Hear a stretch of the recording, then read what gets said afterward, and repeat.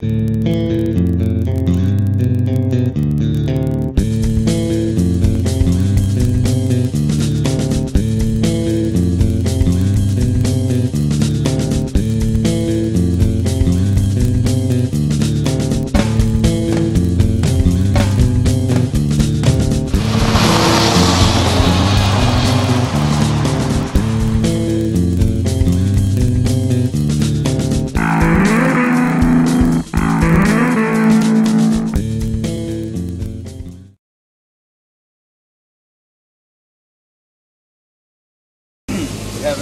level plug and drain plug to have it properly lined up.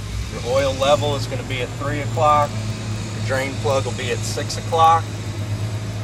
Um, the first thing you do is get it lined up, 3 o'clock, 6 o'clock, and then you have to break your plugs loose, which 90% of the time just a tap with a hammer because they are under pressure.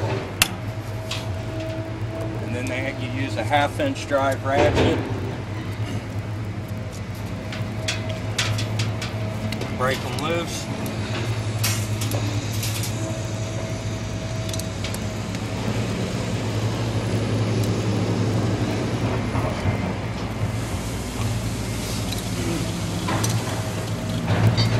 When you pull your oil, the level plug, pull it slow. Sometimes it's under pressure, it will pour oil.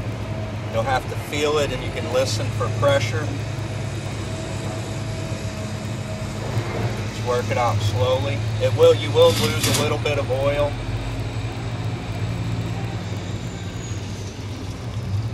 Okay, there's no pressure on this one.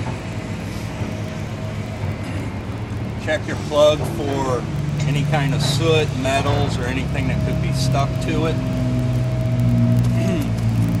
First thing when doing services, we pull samples on all compartments.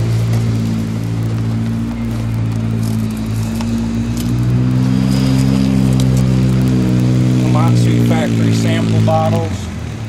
Just insert the hose. Squeeze like an accordion, gives it the pressure. And just feed your tube into the oil about halfway down. Release.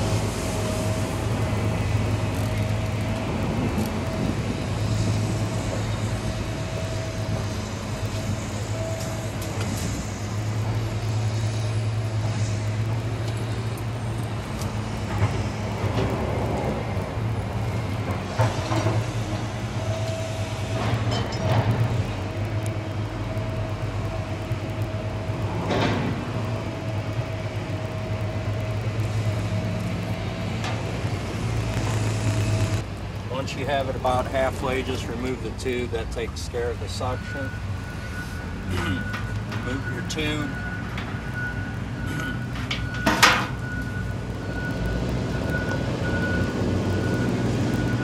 That'll be your sample. okay, on excavators, your final drives with the sprockets, they will always be the, considered the rear of the machine. That way you can differentiate between right and left side. And then you just mark the bottom, the oil um, weight, which is 30 weight on this machine. And it would be right planetary, and then we use our equipment. And that's pulling a sample on the final drives. When you pull those samples on an excavator, you want to do a sample every thousand hours. You want to pull the fluids and change the fluids every 2,000. Once you're done, screw that top cap back in. It'll slow the flow down to start draining. Screw your bottom plug out first. Then you can remove the top plug. The amount of flow you want coming out of it determines how, how much you screw that plug out. So as you can see, once you start letting the air out, the more you pull the plug, the more fluid flow you're going to get from the top plug.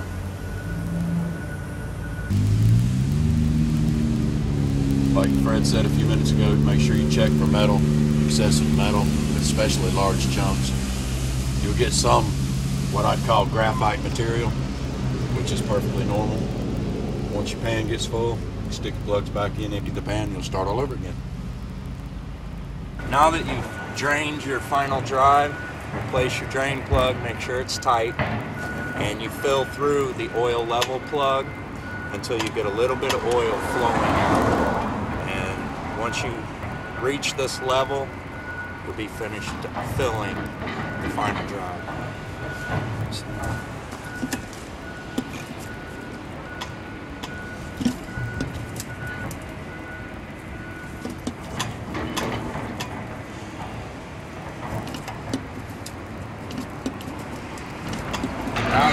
started running out of the, uh, the level plug here, check your plug for any dirt, contaminants, check your O-ring that's on the plug, and replace your plug, and you're finished draining, filling, changing the oil in your final drives.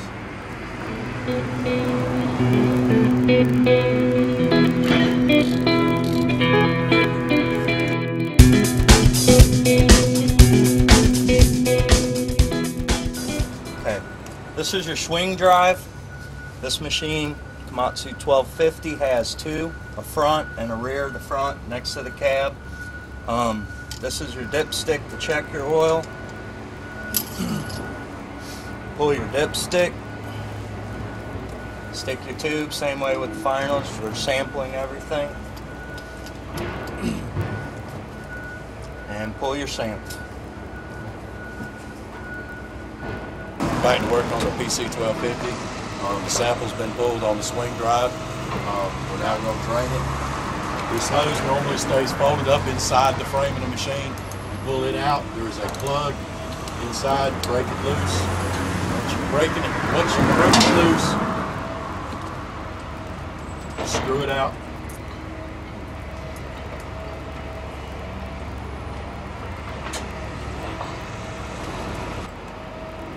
My best suggestion when you're draining these swing drives, break them loose and then move on to another part of the machine. Um, fluid does run slow, small hose. Sometimes it can take 20 to 25 minutes for it to drain. You can always come back to it when it comes time to fill it and uh, close your plug and then work at it then because it does take an extreme amount of time to drain. Now that you've got the swing, rear swing drive um, drained plug and the drain plug tighten back up, come back up on top of the machine to the swing drive. Where the dipstick pulls is where you fill the oil. It holds approximately six and a half gallons. So you fill through this and you keep checking your level on the um, dipstick tube.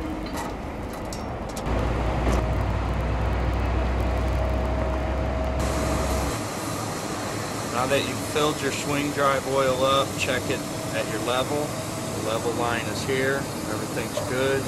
Now you're finished filling, draining, filling your swing drive oil.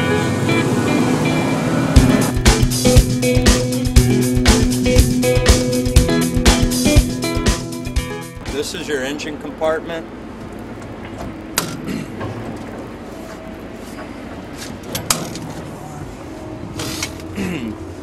Right here your dipstick. Check your engine oil. Pull your dipstick. Run your tube into the dipstick tube to pull your sample on your engine oil. The sample tube is approximately as long as your dipstick. That way you catch the center of your oil and not pull off of the bottom of your engine and pick up any contaminants. On